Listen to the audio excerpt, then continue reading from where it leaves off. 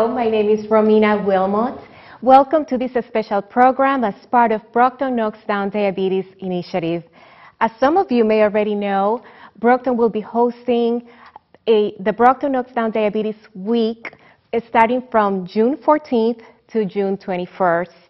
This is a week-long event of free seminars focusing on diabetes management and prevention. We want to thank the lead sponsors of this initiative, such as Harbor One Bank, Good Samaritan Hospital Medical Center, as well as New England Sinai Hospital, and the many organizations who have come together to make this possible. Today, we have invited a panel of professionals, of healthcare professionals, as well as people who are living with diabetes and are taking care of people with diabetes. And they will be sharing with us tips and advice on diabetes management, as well as letting us know about the different resources available in the community. Welcome all and thank you for being here today. We will start by having them introduce themselves. Go ahead. Hello, um, my name is uh, Jack Cabral. I'm community health worker at Brockton Neighborhood Health Center. Right now we are working with the patient. They have a, chronic disease, especially the diabetes, um, hypertension, and other diseases. Hi, my name is Jessica Levine. I'm a registered dietitian at Good Samaritan Medical Center. Hi, uh, my name is Martha Lattimore. I uh, was am a participant of the diabetes programs that I actually sign up not for myself but my uh, because my sister and my mother have diabetes. Hello, my name is Yvonne Weeks and I'm living with type 2 diabetes. Okay, thank you so much for being here. And uh, today we, are, we also have a live audience of people from the community um, who will be asking questions to the panels that we have here today. And we'll, we'll start with the first question from Julie. Thank you. Hi, thank you, Romina. I have a question for Jack. Jack, why is it important for a person who's living with diabetes or a person living with prediabetes um, to follow a routine of healthy eating and also routine physical activity? This is what I call um, uh, active life or active living. Uh, because it's very important. All of us, we do need uh, to have some exercise done. Uh, and it's more important, when, especially when we have diabetes. There's a lot of benefits that we can get from the, first from the uh, physical activity. There's a lot of benefits that we can get not only for the diabetes, but for other diseases, especially like uh, hypertension. It helps you to decrease or to regulate your uh, blood pressure, to decrease your cholesterol, uh, which when you are active or doing some exercise, uh, you can increase your HDL, cholesterol HDL, which is called a good cholesterol, and decrease uh, LDL cholesterol, which is bad. Other, you can uh, decrease the risk to have a heart disease and other disease that is, is very uh, is very dangerous for yourself, for your life. It helps with the, um, a lot of other things that you can do, maintain your weight, um, help you to, to sleep well. It helps you to relieve the stress. It helps you to um, manage your activity or to have a better energy during the day. So this is, there's a lot of benefit, benefits that we can get from the um, exercise, the physical activity.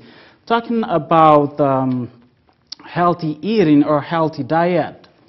It is very interesting because sometimes uh, a lot of people they don't understand about it. But I'm gonna share a little story with you just to to see if I can help you to understand how it's good to um, watch what do you eat. I know the guy. I know the story about the guy who, after got married, um, so he noticed for a couple of times the wife was uh, after uh, fries uh, after she fries the, the fish so he noticed that the lady, the wife, was cutting a big eatable piece of the fish with the tail and with the uh, head too. So he was very curious about it. So he said, I'm going to ask my wife why. After he asked the wife, why did you cut a, lot, a big piece with a tail and a head, in this, in this fish there is a eatable part? And the wife said, well, um, I, I'm doing it this way because uh, my mom teach me this way, so I believe it's a good way to do it. Oh yeah, your mom teach you this way. I'm gonna ask your mom. So he went to ask the mom, and the mom said, "Well, I'm doing it this way because uh, my mom teach me this that way, so I believe it's a good way to do it." Okay, so he walked down to the uh, wife's grandma, and uh, when he asked the grandma, "Why do you guys cut a big piece of the fish with the tail and the head?" and uh, grandma said, "Well." Uh, the, the, the reason we cut a, a big piece is because on that time when I learned it from my mom, the, the skillet pan, you know, the, fry, the fryer, was very small. So I had to cut the big piece on each side so I can fit on it. so this is, is very, it, it seems like a funny, but you know, it's, it's very serious because uh, the way we teach because a lot of time we hear people saying, oh, diabetes runs in my, in my family. It does. It is truth. But uh, it is serious because it's the way my mom teach me to eat. I will teach my kids. They will teach their kids. So it, it'll be running a family. What we need in this case is like someone to stand in a family with a flag saying, after now I'm going to take action and eat healthy. So it will be changing. He will be changing his lifestyle. He will be changing the, the teaching for the kids. So until we're going to see the diabetes going to disappear from the family. That's why it's very important the physical activity and on the other side the healthy eating. Thank you. That, that's wonderful. I think it's, it's actually very important. You really hit on a great point, that as long as we're examples to our children, um, we may have a chance to um, knock down diabetes in this city. Thank you. You're welcome. Thank you so much for that very uh, illustrative answer and very th- thoughtful. So thank you about that. And we'll continue with the live questions from the audience, and we'll go to the next one. Hi, this is Mohammed Sheikh. I will ask a question to Jessica. Which foods are good to have on hand to treat hypoglycemia and sick days? So, good question. Hypoglycemia is when your blood sugars go low, and it can get really dangerous if they go too low. Um, when you have diabetes, we want to control them and have them be in a optimal range. Um, so, hypoglycemia is when the blood sugar drops below that optimal range. Um, so when you are hypoglycemic, you want to have some kind of food or drink with you that has sugar in it that is going to spike your blood glucose back up to a decent range. Um, something like 100% whole juice, um, like an apple juice or a fruit punch, something that is 100%, because we'd prefer you drinking 100% juice. Um, something like a whole fruit, like raisins, oranges, apples, are always good and easy to have on hand. Um, and then something a little less healthier would be something like a soda, but it has the sugar in it to get your, your blood sugar up. Thank you. Yeah. All right. So we'll go to the next question from the audience. You can come in. Hello, my name is Celia Kyle, and I have a question for Martha. What advice would you give to someone who has been told they need to start insulin or oral medication but is resisting? Well, um, I would say to them that uh, with diabetes, you gotta, you have to change, you have to change something in your, uh, your, in your life. You have to change a lifestyle of eating and exercise, and so um, I would say that to that person that uh, if they if they can't keep their insulin at the at the rate that it should be, then they're doing themselves a, a disservice.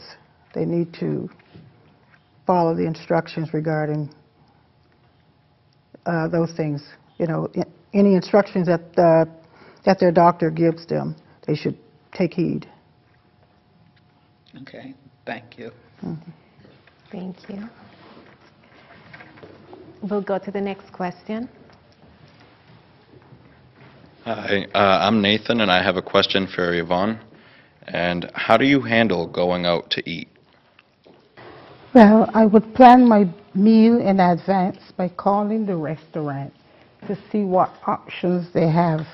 And this way I can incorporate my chances, choices, sorry, to meet my allowances for my control and diabetes, for my diabetic control, actually.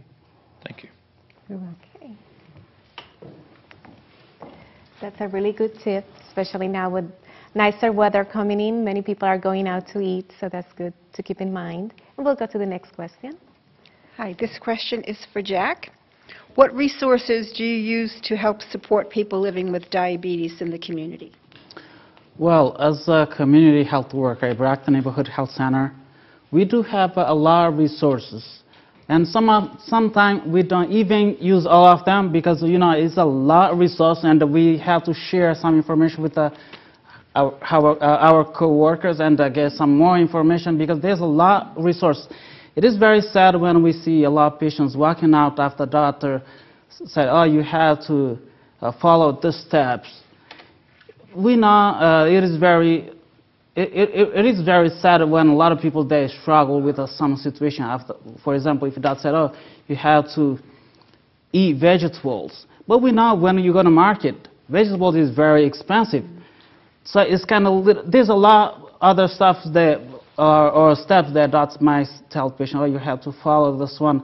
It's kind of a little tough, and the patient after they left, they're going to be struggling in some difficult and a lot di different situation we do, uh, at Brockton Neighborhood Health Center, we do have a lot of resources. The only thing maybe patient need to ask for help, so we might see which is a good resource for our patient. We do, like for, for my side, for example, when I'm working with one patient, what I'm trying to do is like a, keep eyes on my patients to make sure patients are keeping their appointment with the primary care having a follow-up at least every three months, and um, try to work with them, with a nutritionist. We do have a nutritionist in the Brockton Neighborhood Health Center. Uh, we do help them like a, personally, I sometimes work with them uh, like a, for the home visit and try to find out if something that I can do to help them. Offer to go with them to grocery store. There's a lot of uh, other resources. We don't provide housing, but we might uh, try to provide the safety for our patient, help them to apply for the, to live in a, in a place that is a, a safe place for them. We might help them get in a transportation, application for the health insurance to get uh, good health insurance that they might qualify for other benefits outside uh, neighborhood Neighborhood Health Center. Uh, there's a lot of stuff help them to get uh, um, membership for um, some fitness, or like uh, some other places they offer some good membership and a lower price. We do have a lot of resources, and I'm trying my best. Not only me, I believe uh, the whole, uh, the entire Brockton Neighborhood Health Center. We are doing our best to provide a good and best care for our patient in this neighborhood. Great. Thank you. Thank you, Cheryl. Uh, there are many great resources in the community available, and you will have the opportunity to get to know about all those resources by attending Brockton Knocks Down Diabetes Week from June 14th to the 21st. So we hope to see you there, and we'll continue with the next question. Thank you. Uh, the presentation so far has been very, very helpful. Uh, this question is another one for Jessica. We hear an awful lot about carbohydrates when you're talking about diabetes. Yeah. Are all carbohydrates bad for you? Absolutely not. Um, I think that I hear that a lot as well, that people think that carbs in general are just bad and you have to avoid carbohydrates altogether. But the truth is that we need carbohydrates to function in our daily lives. Um, and whether you think you are following a carb-free diet or not, you're most likely eating carbs in forms of fruits and vegetables, which I think a lot of people don't think that there's carbohydrates in. Um, so there are better carbohydrates than others. Um, like whole grains, have good carbohydrates in them because they're complex. They have fiber, um, which is going to slow down the digestion and decrease the spike of blood sugar so that it doesn't go way up.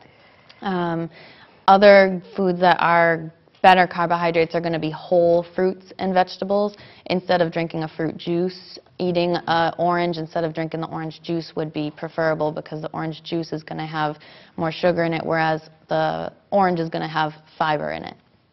Um, what else? Vegetables, there's the starchy vegetables and non-starchy vegetables that we categorize them as. Um, so a starchy vegetable has more um, carbohydrates and sugars than a non-starchy. And those are foods like corn, peas, potatoes, lima beans. Um, and those are most of the vegetables that people enjoy, I think, because they are sweeter. Um, so foods like broccoli, carrots, green beans, asparagus, cauliflower are all going to be vegetables that are non-starchy. And you can load those up on your plate at any meal um, and not be eating a ton of starches. They have much less carbs in them than corn, potatoes, and all those other starchy vegetables that I mentioned. Thank you very much, Yeah. Jessica. Thank you. So now we'll go to the next question. My name is Curly Bollier, and my question is for Martha. What support have you found in the community to help you manage your diabetes? Okay. uh, I didn't, um, I didn't actually uh, go for myself uh, because I don't have diabetes. I have diabetes uh, in my family. My mother and my sister are both type 2 diabetic. Um, and I found after signing up for the program that that was a good benefit for myself as well, you know, uh, to help me um, to get plenty of, you know, information that would give me the understanding of how diabetes can affect anyone's lives. You know, and I didn't want to um, get diabetes myself, so I, I thought maybe, maybe I should try this program. And um, so, and I got a lot of information from it. Miss Louisa uh, Schaefer, uh, she was very informative, and she really, really um, uh, talked on a personal level with her, uh, with the classmates. And I enjoyed, you know, I really enjoyed the program because it was, you know, really beneficial. Oh, thank you. Since I've um, been going to the Brockton Neighborhood Health Center, they have provided me with so many things that I need for every one of my kids, like the foot doctor, and for eyes, and for everything. They recommend me or they send me somewhere so I could get the care. So it's really been helpful for me with my treatment since I've been going to for a little over a year now. Since I'm so thank you. Good. Thank you for sharing that. We'll go to the next question now. Hi, my question is for Yvonne. Um, What does it mean to you to be empowered to take control of your health? Well, having just completed a program, My Life, My Health, at Brockton Neighborhood Health Center, it has given me the opportunity in education and information to live a more healthier, productive lifestyle with diabetes. Great, thank you. Good. Good. Any additional questions or anything you would like to share with the audience? I just uh, um, uh, increase a little more about um, Yvonne. She was commenting about um, uh, My Life, My Health, a Brockton Neighborhood Health Center. Uh, for a couple people, they might don't know what it, what it means. This program, what type of program is a? I believe uh, because it's a program that we provide like a training for six weeks, where you can learn how to manage, how to live well even with the ill, so you can feel, stronger. You can be able to manage your, your disease and uh, work out and be happy with your family. Good. Good. So, yes, there are many resources uh, and many great programs that we hope all of you who are watching from home can take advantage uh, from them. So I actually had a question for, um, for Jessica in regards to what is the difference between a registered dietitian and a, a nutritionist? I was wondering about those two uh, titles and those two responsibilities. Yeah, so I think those two get mixed up quite often. Um, so a nutritionist is anybody who reads a book or takes some kind of online course um, and then they have a background knowledge of nutrition and therefore they can call themselves a nutritionist. A registered dietitian has completed a course at a university or some kind of college. They've done their internship. Um, they have gotten all of the class hours that are required and they have went and taken an exam to pass their licensing boards and taking an exam for the um, for the to be a registered dietitian. Um, so it's more rigorous and there's more there's more to becoming a registered dietitian than there is to being a nutritionist basically because anybody can really call themselves a nutritionist as long as you know anything there is to know about nutrition. Good, good. So main uh, takeaways that we got from this great panel today is to get involved, to talk and communicate with your doctors, your physicians, to ask and look for the great programs and, and resources available in the community. So we hope that you found this panel to be beneficial.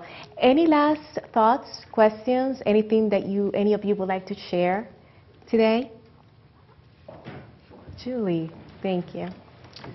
So I, I think it's important um, that you know people that are living with um, diabetes, be it type 1 or type 2, we know that it is a um, a chronic disease, meaning that we don't have a cure. So um, I think all these people that are speaking about all these wonderful resources in the community, and you've mentioned that as well, I think the takeaway message that I am hearing is that it, you know the resources are out there. It's really important for um, people to seek them out, and that would probably be starting with their healthcare provider um, and really seeking out the education so that they can live healthy lives with their chronic illness um, and with their diabetes. The resources are out there. A lot of times it's difficult to do on your own, um, but there, there's so much help for us. So it, it was really wonderful to hear.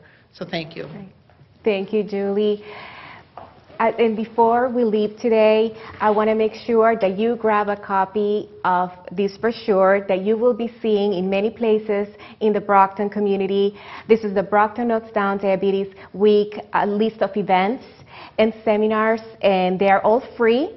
And we will be having uh, a phone walk, um, a mini fair in which you will be able to connect personally with healthcare professionals and other people in the community who are, are also dealing with this disease or who want to make sure to remain healthy and to prevent this devastating disease. We hope that you all had a great time with this panel as I did. We thank all the uh, members of the panel today. Thank you so much for your time and insights. We thank the audience today and we want to make sure uh, that you, thank you. Thank you. thank you. So Brockton Down Diabetes Week, June 14th to the 21st. We hope to see you there.